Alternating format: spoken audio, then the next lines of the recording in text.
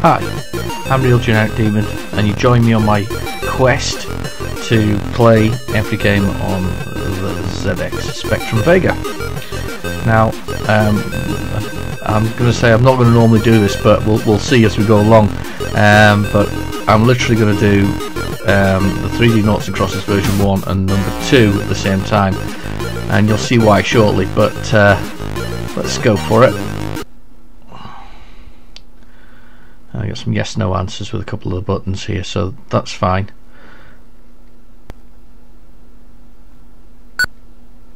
Okay, so it's a 4x4 by 4 board or a cube. Um, you've got to put down, you know, you play zeros and the computer plays x's, um, and you've basically got to make four in a row while blocking the computer doing the same thing. So you've got an X, Y, and Z.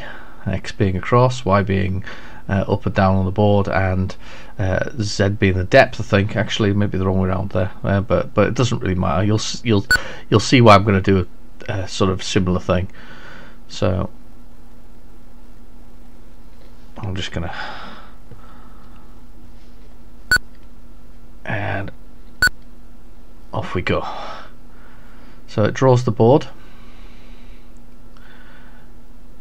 I'm pressing a key to begin. Yeah, Z's up and down. So I'd like to start. Yes. Uh, we press enter. And I need to do that by bringing up the keyboard, pressing enter. Now let's do our coordinates. Now we can do it on the, the, the pad if I get rid of that menu for a second. I think we can go three, three, three. I think it's changed it so we can do each one of those. Bring up the pad, press enter. There we go. Uh, let's do three.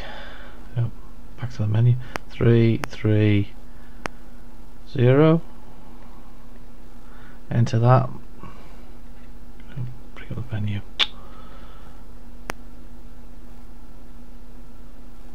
Alright, as you can see, it's quite frustrating. Um, it's just quite difficult to play with the virtual keyboard and the keys so not recommended um, quite difficult to, to, to um, work out your locations on that. um, the board itself isn't really what I would call a board I would hope for squares on it so that you can actually work out where you're at um, no I'm, I'm not too chuffed about this one as a, as a game on there so um, I'll take a quick second here and then we'll go into the next game in a second. Alright.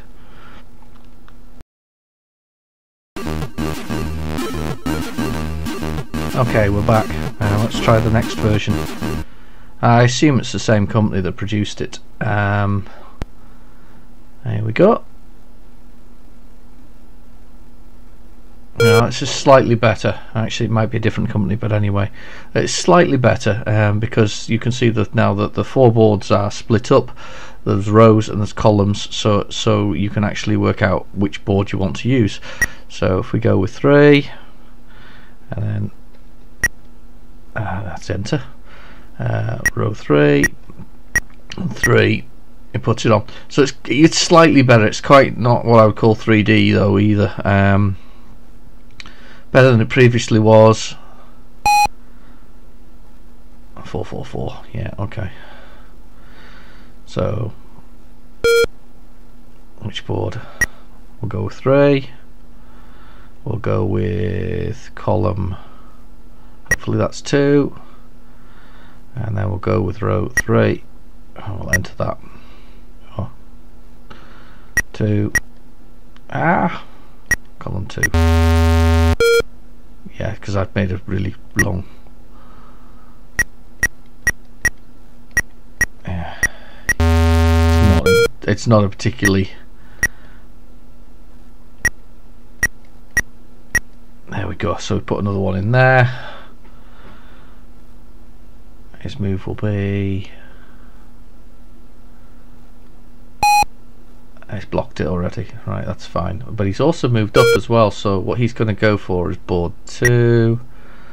and we want to go with board 2 row 4 uh, column 2 uh, so that blocks him going up the way although at the time this is probably quite high-tech stuff yeah he's tried to do that but that's not actually helped him. Um, yeah it's not the best. Um, I think we're going to cut this one. These two short um, because of a version 1 and a version 2 uh, I'm sure you could have just done one of those but then of course you'd have only had 999 games. Um, no not the best. Sorry guys. Um, we'll leave it there. Bye